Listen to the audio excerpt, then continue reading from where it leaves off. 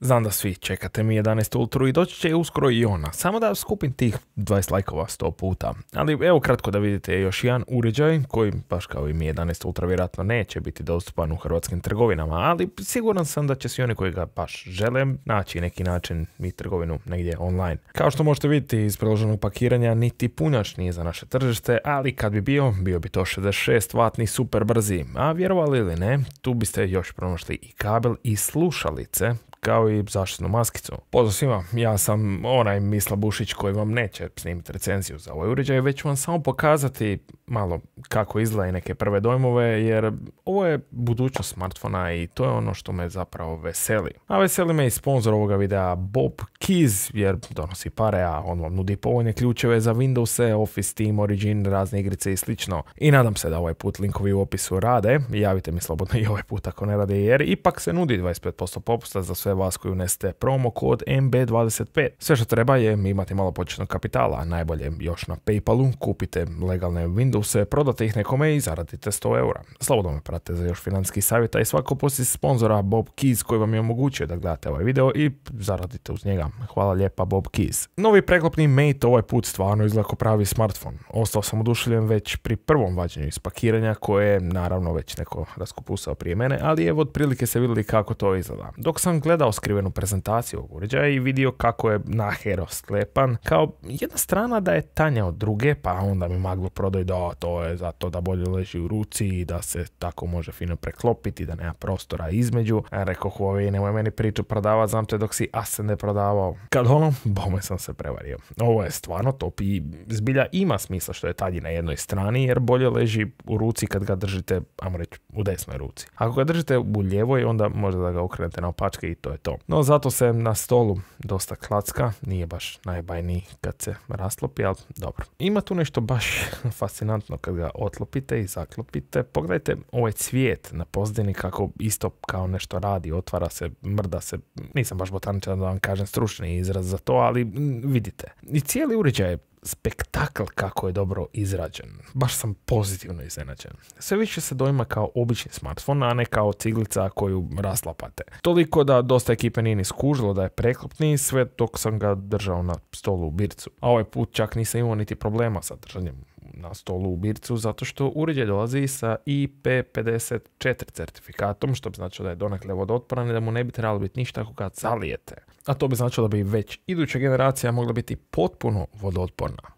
I je da, znam da sad izgleda možda malo više kao Samsungov model jer posljednji je ona imao sa vanjske strane zaslon, ali dobro. Po meni je čak ovaj i bolji izrađen od Folda 2, ali nemojte me baš uzeti za skroz ozbiljno jer nisam dugo držao Fold 2 u ruci pa to je po nekom sjećanju. U svakom slučaju nahvalio sam i onaj Fold, a ovaj mi se čini još boljim. A bolje je još i mehanizam preklapanja koji ima tako zadovoljavajući tap kad ga preklopite, samo što ga ne možete kao na Foldu 2 ostaviti na recimo 60 stupnjeva, pa to je možda malo bezeze, baš kao što i bezeze što 60% vas koji gleda ovaj video niste pretplaćeni na kanal, mislim, šta, samo stisneš pretplati se i zvonce i to je to. Ah, ne morate, a ne mora se ni Huawei preklapati na 60 stupnjeva jer kao što ste mogli vidjeti u pakiranju dobijete maskicu, takozvani back cover, koji ima mali stalak u sebi, dosta zgodno, vidjeli ste već takvih maskica valjda, samo nevjerojatno u pakiranju odmah s uređajem i tako da možete ga staviti, evo, kako god hoćete, vidite i sami. A za ovaj mehanizam preklapanja, teško mi je dočarati, ali znate kad zatvorite vrata dobrog automobila, pa ne čujete onaj limeni zvuk, pung, nego neki fini kao što, u, kako ovo dobro. I onda pored vas stoji, ne znam, Mercedes novi i onda njega zaklopiti, onda u, može još i bolje. E, otprilike tako nekako sam ostao iznenađen s jer i prije je bilo dobro, ali ovo je sad ono, Duše na metu onom nije baš bilo to tako dobro jer ima onu e, kao kačkicu koju morate istisnuti da on tunk, iskoči van.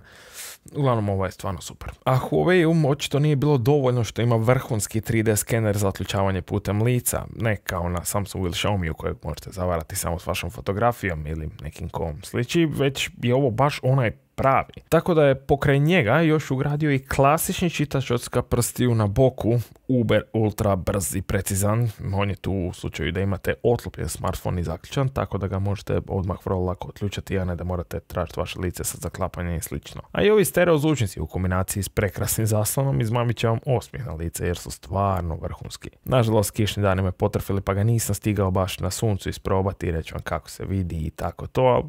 Čini se dosta svijetao. I Huawei tvrdi da je manje reflektivan, sad eto, nisi se baš uspio uvjeriti u to. Znam samo da su oba zaslona s adaptivnim refresh rateom na 90 Hz, Šteta što nema 120, ali svejedno, stvarno vrlo, vrlo, vrlo glatko iskustvo korištenja, baš je kako treba. Osim naravno storije na Instagramu, to baš eto nije dobro, barem dok je oklopljen, naravno ako ga zaklopite i gledate storije, bit će vam sve normalno. I ova centralna grbica na unutrašnjem zaslonu je gotovo neprimjetna, mislim vidi se, ali dok gledate u njega vi zaboravite na nju u roku od dvije sekunde jer praktički je nevidljiva. I pod prstima je zaslon baš ono ko pravi zaslon, nije ko prije ono plastika pa ko da se radu dirate, nego stvarno skoro da nema razlike između ovoga zaslona i ovoga vamo. Ima mala razlika, da, osti se, ali zanemarivo. Općenito kompletan hardware je na najvišoj razini koju Huawei nudi, praktički je to Mate 40 Pro, unutra ste recenziju za njega, a i kamere su 3 puta i 10 puta periskopske i naravno ova top normalna, tako da što se fotografija tiče, mislite vidite iz ovih primjera da je to stvarno top, fotku sam duše samo preko noći jer preko dana kiša i tako, nije bitno. Jedno što sam primijetio je da nedostaje onaj Ultra Uber 3840 frema super slow motion. Stvarno ne znam zašto ta opcija fali, tu baš sam htio isprobat. A kad smo već kod stvari koje fale, fale i Googleovi servisi jednostavno na Huawei ih još uvijek nema. Ako se vi baš zainatite i želite ih instalirati, možete, evo, kao što možete vidjeti sada, ja sam ih instalirao, imam Play trgovinu i radi sve, ali nije to baš ono najbajnija situacija. No svejedno, unatoč tome što fale Googleovi servisi, snimio sam video o App Gallery i kakve sve aplikacije ima i šta mu se nedostaje i mogli bi se se ugodno iznenaditi što sve Huawei zapravo ima skoro da mu ništa ne fali. Tako da, ako vas to zanima, video je tu negdje gore. Nevjerojatno, ali fali ladica s aplikacijama i mogućnost da spustite traku s obavestima povlačenjem prsta po zaslonu, pa zašto Huawei koriste od Samsunga kojem T9 ne radi već 12 godina. Doduše, ovo se lako riješi s drugim launcherom, ali na preklopnim smartfonima oni su uvijek nekako ah, bez veze. Sad, uređaj je prekratko bio kod mene da bi vam komentirao autonomiju, kakva je baterija i to sve. Mogu vam jedno reći da se puni super brzo, tipa 45 minuta do 100. Nisam sad mjerio, ali otprilike je tu negdje. I kao svaki put na kraju recenzije preklopnog smartfona moram reći da me budućnost veseli jer već sad imamo uređaj koji nije uopće toliko različit od recimo nekog drugog normalnog smartfona. A bome je nešto baš potpuno drugčije i u krajnjoj liniji bolje kad god poželite. Imate ogroman zaslon u sebe, samo da ga otvorite i to je to. Iz godine u godinu se manje kompromisa s ovim smartfonima i pitanje je samo vremena kad će jedan ovakav smartfon konkurirati bilo kojem drugom smartfonu s jednom razlikom u cijeni uređaja. Jer evo već sad vidimo da ovaj skoro vodootporan, sve manje su osjetljivi na prašinu i slične stvari. Tako da vjerujem da će cijena uskoro biti jedina mana ovakvih uređaja, da se one koji ih požele naravno. I vjerojatno težina jer teži ne znam koliko 300 grama. Nadam se da ste stekli barem neke dojme o ovom uređaju. Znam da nije klasična recenzija, ali jednostavno bio je kod mene samo tri dana. A imam i Mi 11 Ultra koja uskoro slijedi, tako da više pažnje sam malo posvetio njoj nego njemu. Nadam se da ne zamjerate. Imate više informacija o ovom uređaju na našem portalu Mob.hr i eto, toliko od mene danas i vidimo se ići put.